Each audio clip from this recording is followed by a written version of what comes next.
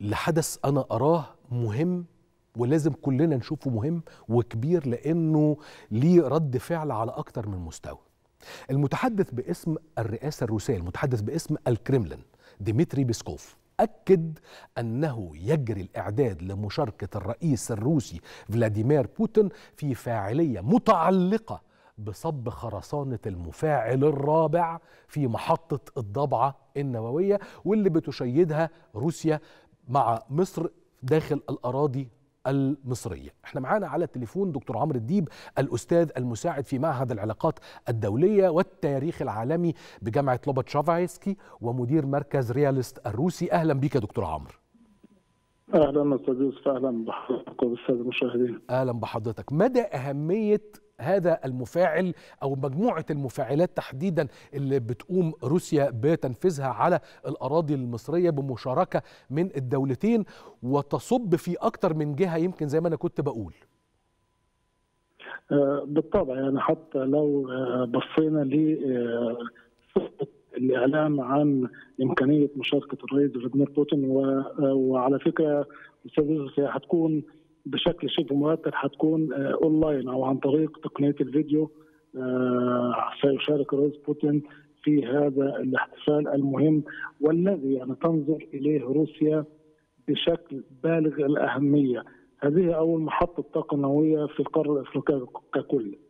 آه، بكل بكل بدون أي مبالغة بدون أي مبالغة يعني يجب علينا أن إحنا نقارن بين أهمية المحطة الضبعه النووية وبين أهمية السد العالي وال- والمشروعين شاركوا فيه أو شاركت الروس. فيه موسكو صحيح. آه، زمان اللي كان الاتحاد السوفيتي ودلوقتي آه، دولة الاتحاد الروسي.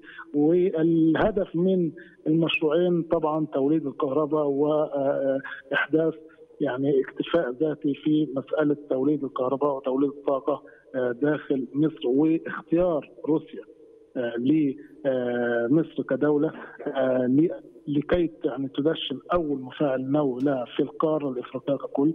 آه، أمر في غايه الأهمية وإذا نظرنا لصيغة الحديث أو الاعلان بتاع ديمتري بيسكوف أن مصر هي أهم شريك لروسيا في الوقت الحالي. وأنا يعني حابب جدا جدا جدا أحط كذا خط على الكلمة ديت اللي اتقالت وهي بالفعل آه، كلمة أيضا بدون مبالغة. مصر هي أهم شريك لروسيا في المنطقة ككل، مصر هي التي فتحت طريق العلاقات الروسية العربية اللي إحنا شايفينها. دلوقتي. منذ عام 2013 منذ أن كان الرئيس عبد الفتاح السيسي وزيرا للدفاع وزيارته لروسيا آه، مرتين ونفس الأمر آه، في تقوية العلاقات المصريه الروسية منذ عام 2013 والتي فتحت الباب على مصراعي لتحويل الوضع الجيوسياسي في المنطقة ككل وتقويه العلاقات الروسية مع دولة زي الإمارات مع دولة زي المملكة العربية السعودية مع العديد من دول المنطقة. وكانت الدولة الأولى في المنطقة هي جمهورية مصر العربية عام 2013 استمرارا لهذه العلاقات وتطوير هذه العلاقات رأينا المحطة التي تمثل يعني نقطة غير طبيعية في آه، قطاع الطاقة المصري أول محطه طاقة نووية في القارة الأفريقية على أرض مصرية آه، تعاون استراتيجي سيمتد لسنوات عديدة لأن آه، مسألة بناء هذه المحطة واستمرار عملها واستمرار العمل بها يعني أن مصر وروسيا سيكونان يعني آه، شريكان استراتيجيان لفترة طويلة جدا من الزمن صحيح. فقط في هذا المشروع.